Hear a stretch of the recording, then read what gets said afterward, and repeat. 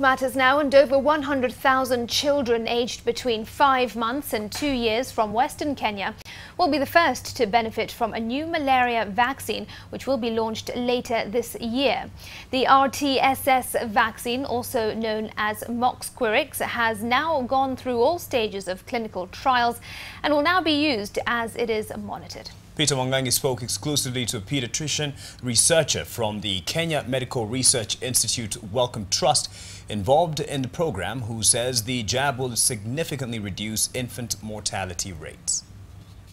Kenya has been selected alongside Ghana and Malawi for the pilot introduction of the vaccine, which will last between three to five years. Thereafter, recommendations will be made on whether the jab can be used for widespread vaccination of all children. Currently in Kenya, uh, just slightly over 100,000 children will receive the vaccine, yes, within the Western Kenya region. Children will receive four doses of the vaccine. Uh, so the first dose is given at the age of five months okay, between five and six months, and the fourth dose is given at the age of two years.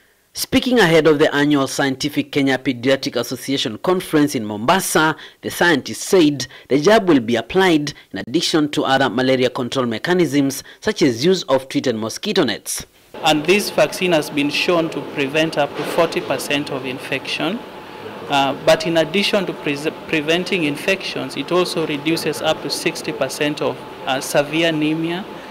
It also has the potential to reduce up to 30% um, of blood transfusions. Malaria has been named as a leading cause of high infant mortality rates in six counties, which include Isiolo, Migori, Marsabit, Lamu and Homa Bay.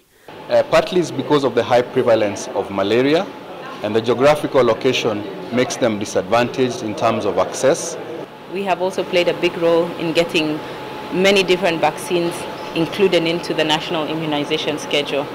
The head of the National Vaccines and Immunization Program is expected to elaborate on the exact timelines of the vaccine on Friday during the close of the ongoing conference in Mombasa. Peter Mwangangi, NTV.